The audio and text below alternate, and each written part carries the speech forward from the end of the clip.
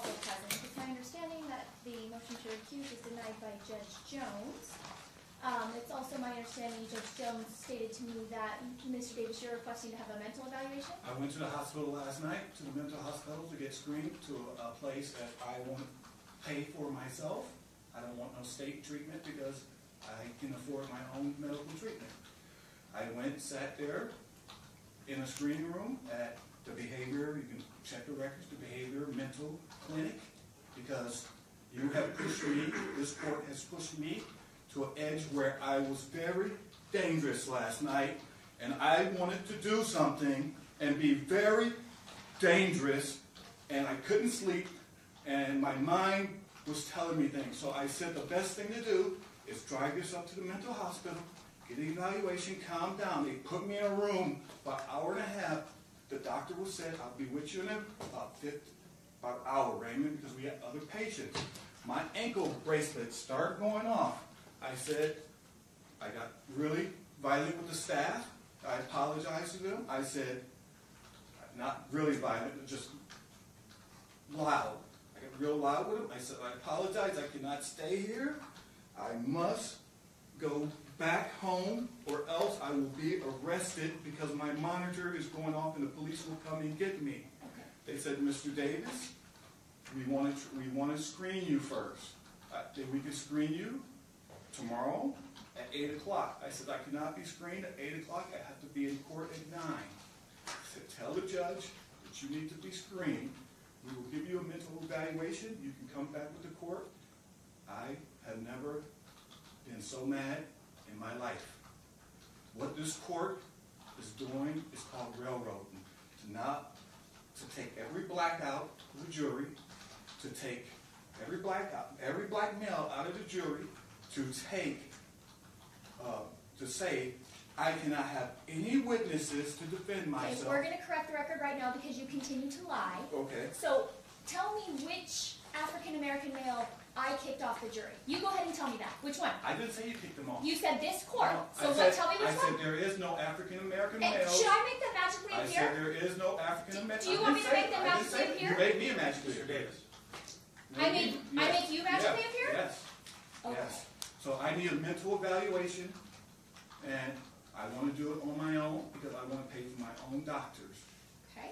Um, and Ms. Collins, do you have any representations to make in regards to what Mr. Davis is stating about, uh, what was going on with him last night and how he was feeling about what he wanted to do?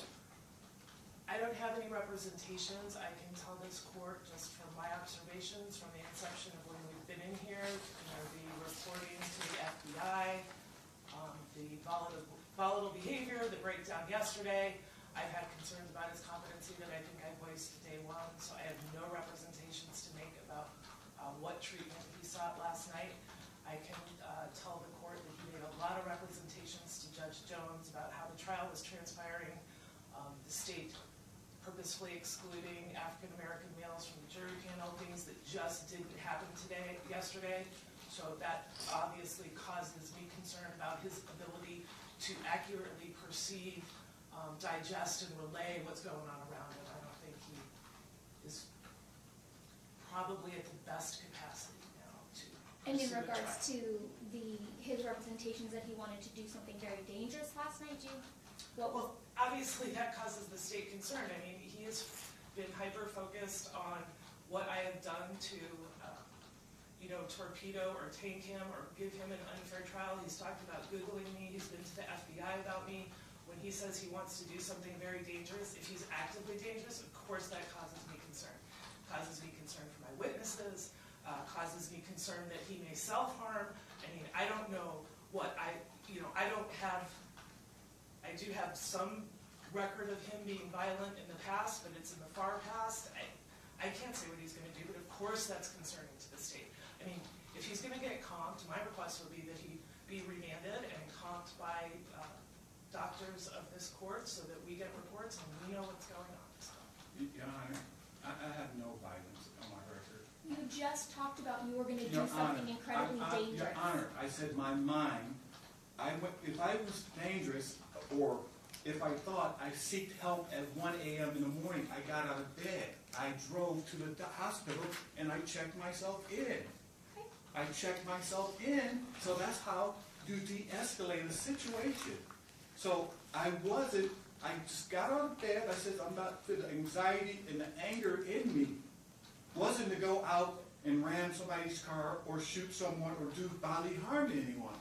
I felt that I was at a point in my life where I was having a breakdown, I couldn't breathe, I couldn't eat, so I said, I need to seek medical help. So I got in my car and just drove there. I didn't That's speak. completely different than what you just represented to the court ten, five minutes I ago. Like, no, let me talk. You said you were thinking about doing something very dangerous. You were worried about what you were going to do, so this is what we're going to do. The defendant's gonna be remanded into custody. I have great concern in regards to the representations that he has made today in regards to what he said that he was going to do. So the state's motion to have him remanded for purposes of an evaluation will be done. I will have that evaluation done this afternoon. Why can't I have, why can't I have my own doctor? Why do I have to have state doctors?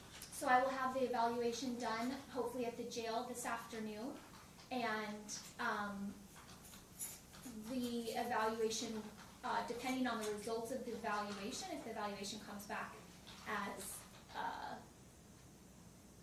I don't, I don't wanna say clean, but what I'm saying is if the evaluation comes back in regards to the defendant is being malingering or being manipulative to get out of a trial, then we will continue the trial tomorrow, uh, at ten AM. If the, uh, doctors believe that there are some competency issues, we'll address that tomorrow outside in front of the jury at ten AM. So I will call over to the, uh, jail right now, and I will attempt to get the evaluation set up as soon as I can. When do we want to have done with this materials? Um. So obviously, would you have a problem taking that, Mr. Klaus? Not if you, not, not if. No, I'm gonna keep my own records. I need, I need to go with my, Maybe I put you there and you put into your um, property within within CCD. okay, put it in the property, that's okay, that's fine. Okay, that's fine, we'll make sure that, that it's all, uh, put in with this property, and I'll go contact the jail and make sure an evaluation, uh, is done as soon as I can get that done.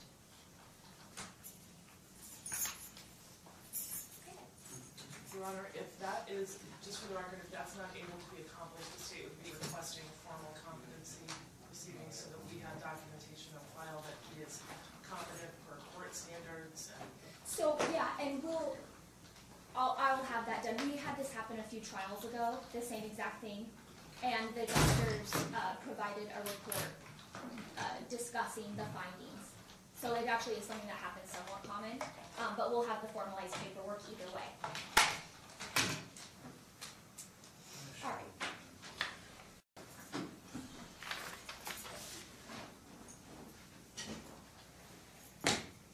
They were on the record. We're on the record in C three four two nine four six, State of Nevada versus Raymond Tyrone Davis. Um, so I just wanna make a, a record, my marshal had approached me and let me know that before I had come on the bench, and Marshal O'Kelly, could you, uh, could you reiterate what you had stated to me?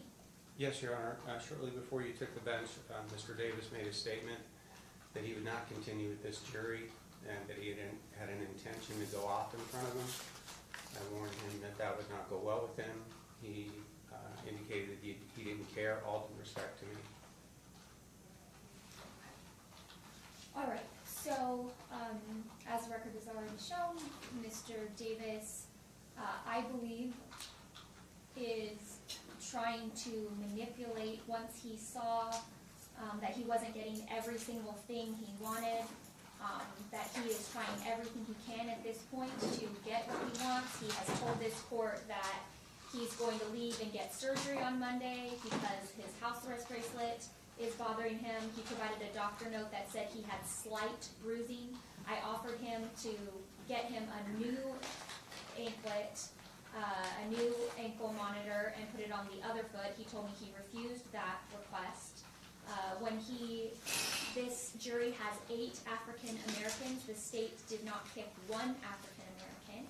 Um, when he, he is very upset that there, there are no African, uh, African American males on the jury. I do note that there are two that are alternates.